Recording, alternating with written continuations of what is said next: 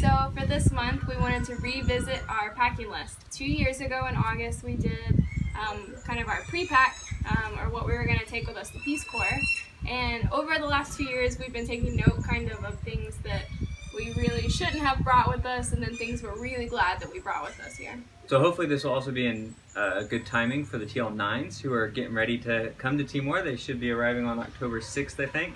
Uh, but one disclaimer first, this is our experience so far with our site, with our work setting. Those things, so these things may vary uh, from volunteer to volunteer. And also we're going to be talking about um, for one person, like we're two people obviously, but uh, the things that we list, the packing list that we lay out will be as if it's for one volunteer. First, we're going to be talking about bags. The first piece of luggage that we would recommend is a large rolling suitcase and preferably one that has a hard cover um, because it's really good later on when you get to site to use to put your foods in uh, to prevent rats from getting into them. The second bag um, is a hiking backpack. So this is the one that I've been carrying around. It's a Deuter 45 liter hiking backpack. And the really nice thing about this is that I can pack it down so that it can be a carry-on for um, airlines. So as you know, you probably know, Peace Corps volunteers get two checked bags that they're allowed to bring with them. So the, the suitcase and then that would be the two checked bags. But like she said, that could still be packed into a carry-on size for like shorter trips or vacations, that kind of thing. Yep. Next one would be just a normal backpack. That would probably be your carry-on on the uh, trip over and good for weekend trips and to go into the villa and stuff like that. The next one, um, guys and girls, this applies to both of you guys, is kind of a purse. So I actually ended up getting this out of the Peace Corps Lounge here. Um, I brought a purse, but I ended up giving it away because it had too many holes in it. um, but I picked this one up. It's really good because I can fit my laptop inside of it and then carry it to work with me and back. And it's not over the top or flashy or anything, so it's nice. Yep. And the last one, which I think this is a bit of a luxury item, but a toiletry bag of some kind. Carry with you, keep all your stuff organized. And yeah, between the six of these, got plenty of bag space. The sixth one technically is a wallet. You can Oh, bring yeah. that if you need it.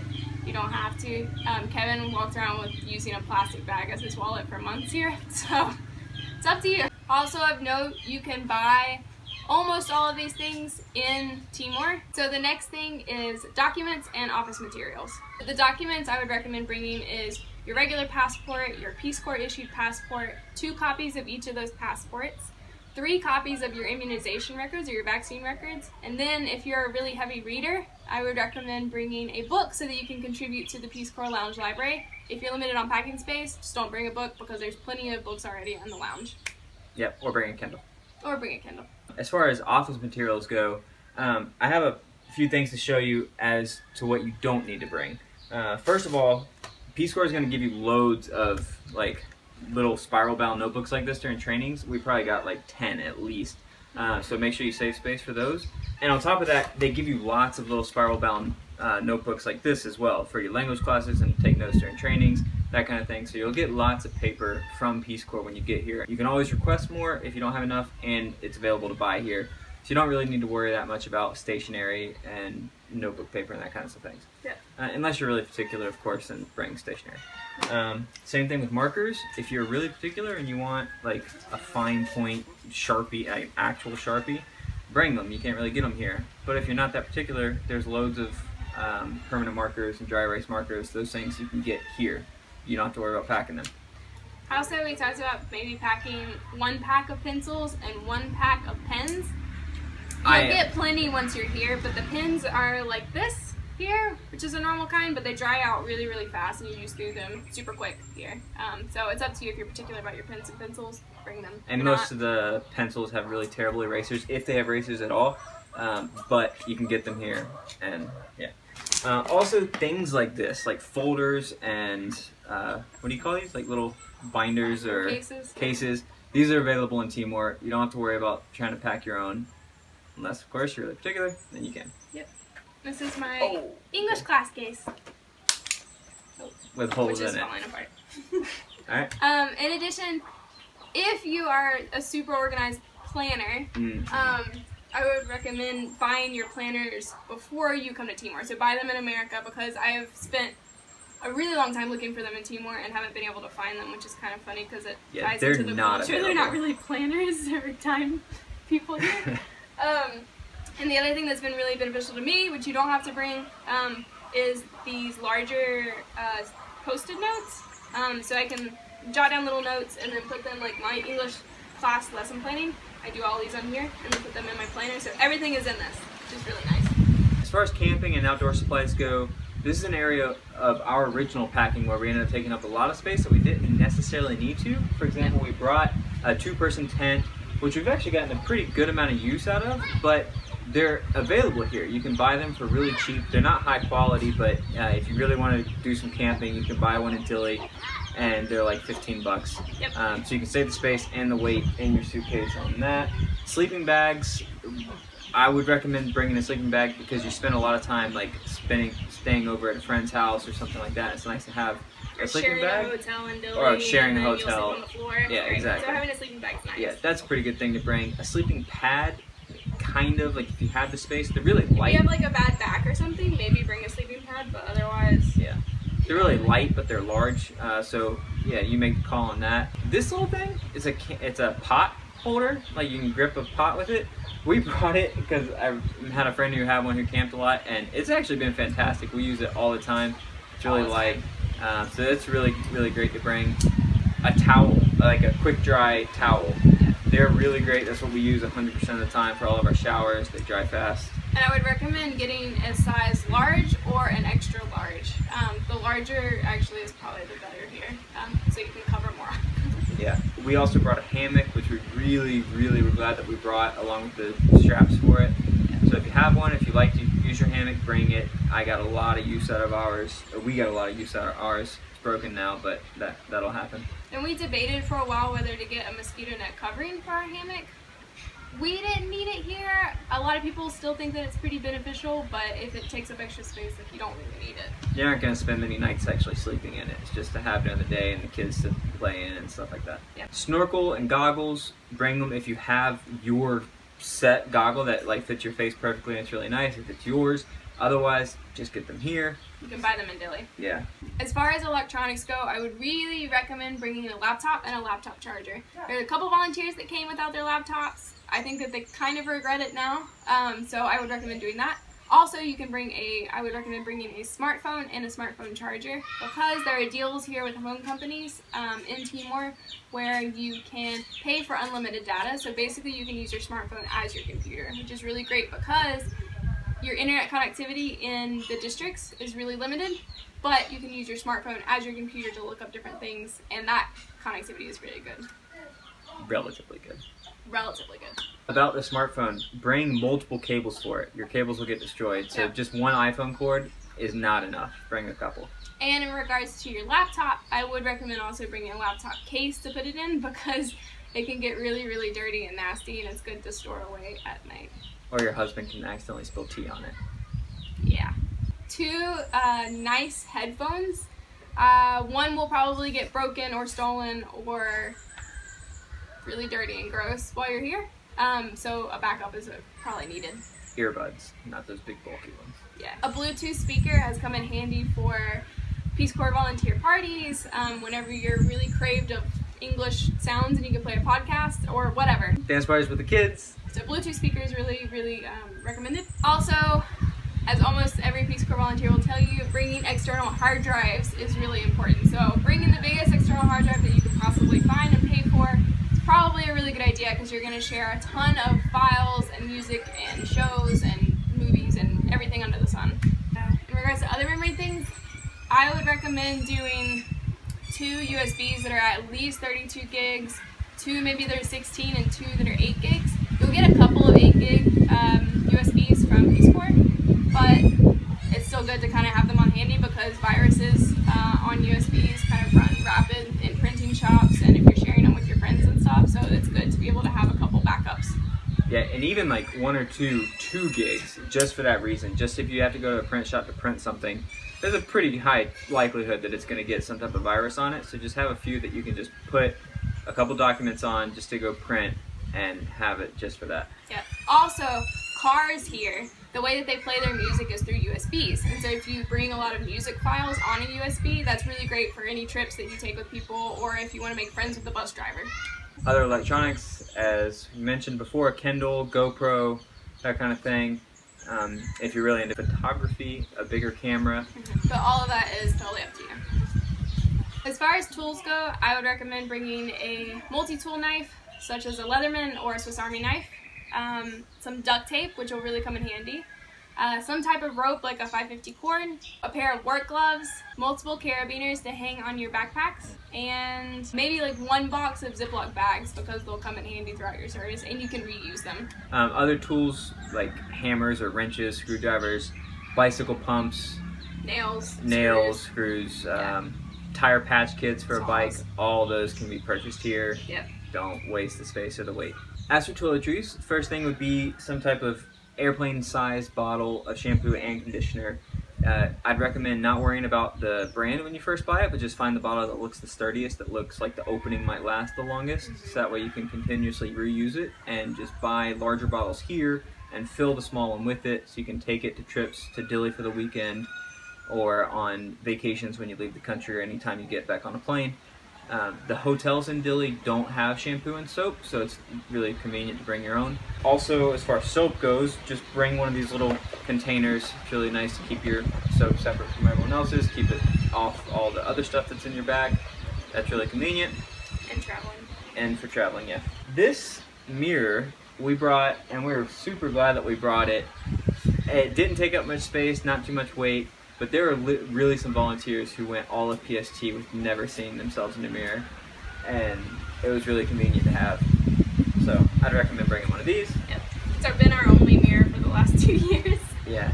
The other really big one is deodorant. We made the mistake of bringing enough bars of soap to last a year. We did not need to do that. You can buy that here, but deodorant you do need to bring enough to last you the whole time. Well, maybe not the whole time because your family will send you some packages, but the deodorant options here are not antiperspirant. They're just deodorants.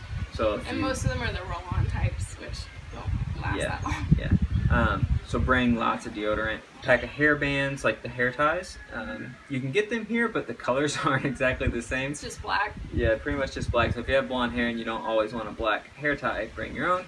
And men too, because your hair grows out.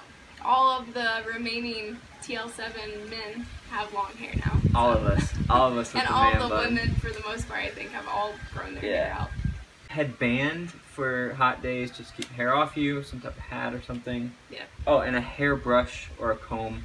Your hair texture is gonna change like crazy here, but Yeah. you're gonna have to keep it combed eh, or brushed. Speaking of hair texture changing, if you're particular about your hair products, um, such as you want a type, special type of coconut cream or something, some kind of straightener for your hair, um, I would recommend bringing that particular product. If you're not particular about it and you're okay with having sort of dryish hair, um, then just forego it. Also, if you're particular about your face creams, probably should bring a two-year supply of that. Um, if you're not, then just use soap to wash your face and it's fine, and some kind of normal lotion here. You can get Nivea um, and you can get a couple of other brands of lotions here, but the problem that we run into a lot is the soaps and the face creams oftentimes have whitener in them. Um, and so you have to just kind of watch out for those. Um, you will be able to find them in Dili though without the whitening component in it. Razors, um, if you're into shaving, then I would recommend bringing your own razors, especially if you want like a nice shave or you shave, for example, your legs or your underarms or your face or anything every single day. Then bring your own razors. Um, they sell in all of the little kiosk shops here, um, like two blade razors, and they're pretty cheap, like disposable throwaways. Um, they don't give you a nice shave, so it's up to you on what you want for that, but they are available here. In regards to menstruation, uh, you can buy tampons in Dili. You can buy pads at almost every little store once you're at site.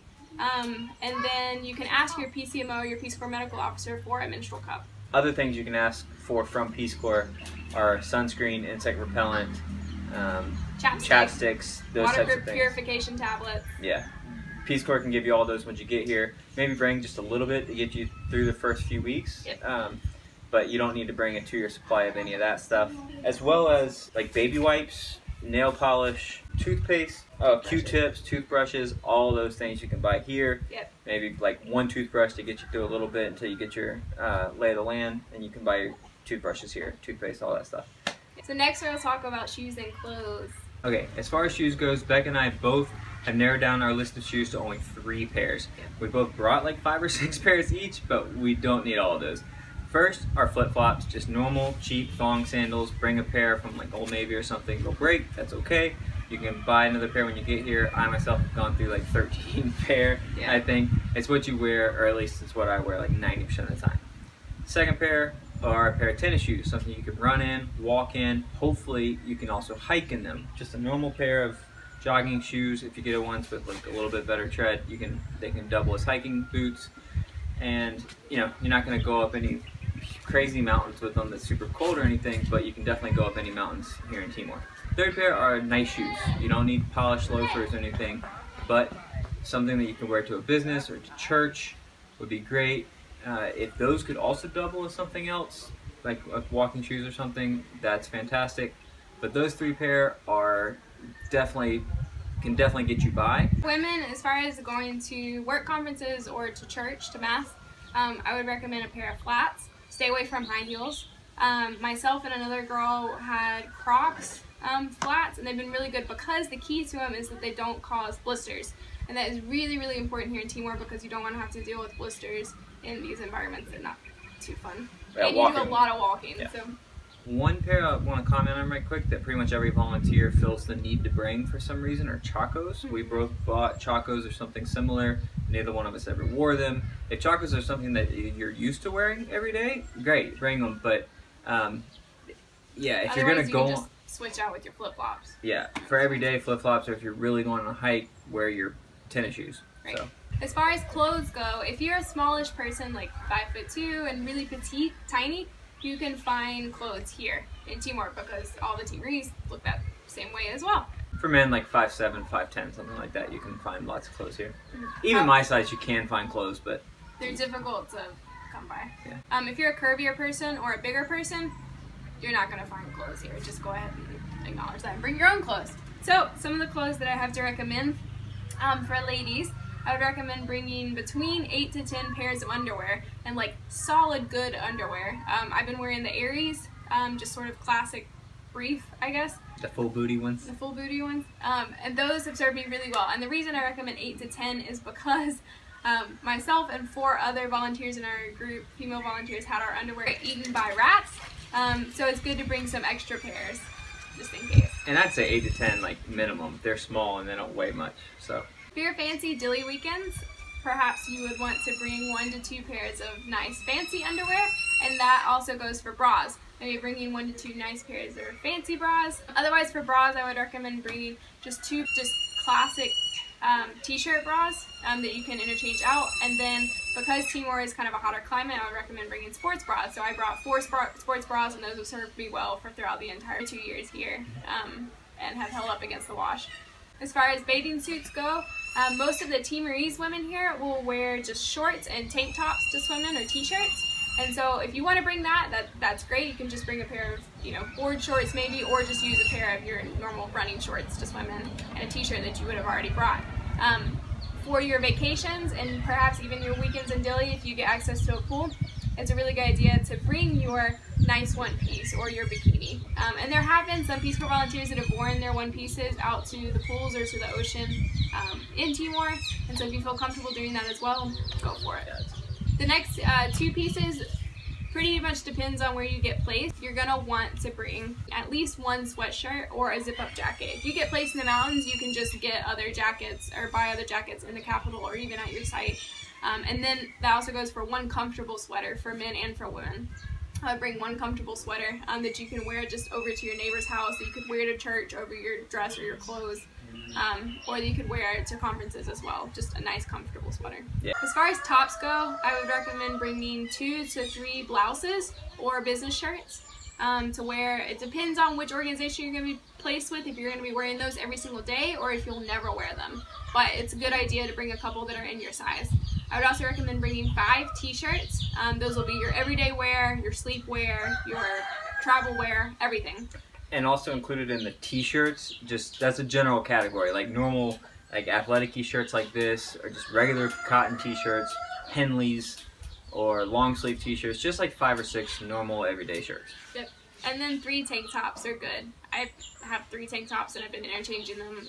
I probably have more than three tank tops, but I've been interchanging them a lot, and they're good for going to the beach and just for hanging out around your community because it gets hot. Bottoms. I would recommend having two pairs of long jeans, one for Rude. that was so long. Two pairs of jeans, one for your nice um, conferences or work days, and then one for your field. And so, like going out into the farmer's field and working, a pair that you can just get dirty. Two pairs of pants for work events. So those will be Peace Corps conferences or your weekends in Dili if you have fancy meetings, or just your work life culture if it's in a formal setting. For women, but I guess also for men if you're into this, um, bringing at least one to two dresses or long skirts. So when you go to mass, the Timorese community expects women to wear dresses or long skirts instead of pants. Um, if you're really into wearing your pants, that's also okay because you're sharing your American culture. Two pajama pants or just casual sort of pants that you can hang out in. So think like um, soccer warm-ups or those uh, elephant what are they, travel pants, um, those types of comfy pants. Two running shorts and two pairs of leggings. Leggings have served women very well in Timor. I feel like the list of bottoms for men is a little bit different than the leggings and the running shorts and obviously the dresses and the skirts for the most part. Um, and even the jeans and the business pants. For for men, I would recommend like one pair, maybe two of businessy kind of pants that you could wear to church or an office.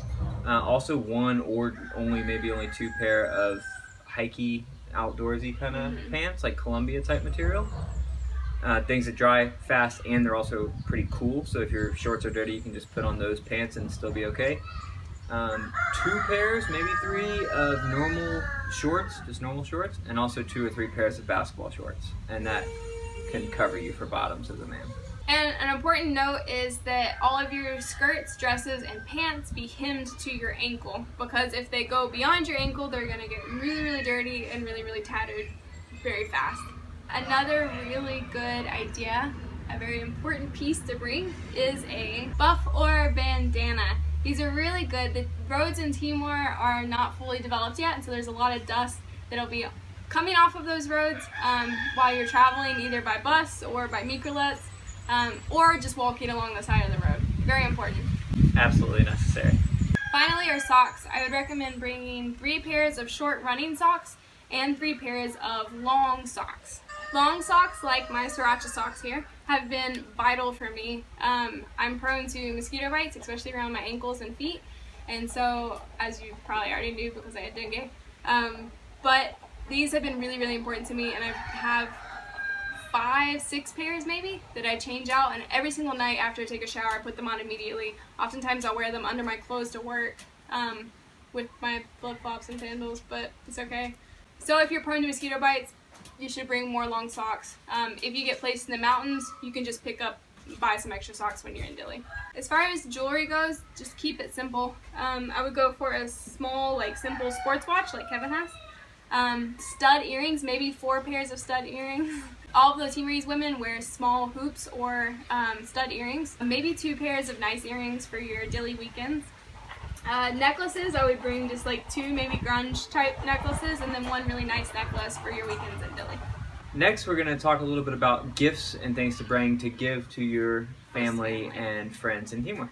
Timor is primarily Catholic, so bringing rosaries, especially those blessed by the Pope, is a very big win with host families. T-shirts, uh, especially of like a favorite sports team or something like that. Sports team scarves. So tais are the traditional scarves that are made in Timor. So they're really into these like traditional scarves. So bringing sports scarves is a really good idea. Yeah, like the soccer scarves you can hang on the wall or something. An American flag. You might want to want one of those anyways for you, but to leave with people after you leave, or a map of the U.S., a map of the world. You probably are going to want to bring one of those anyways.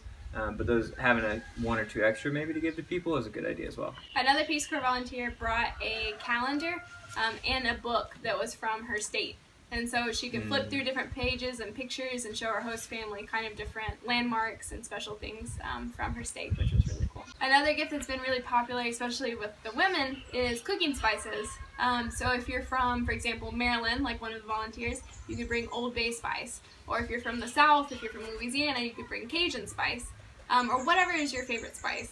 Um, I really push for us bringing a huge thing of spices.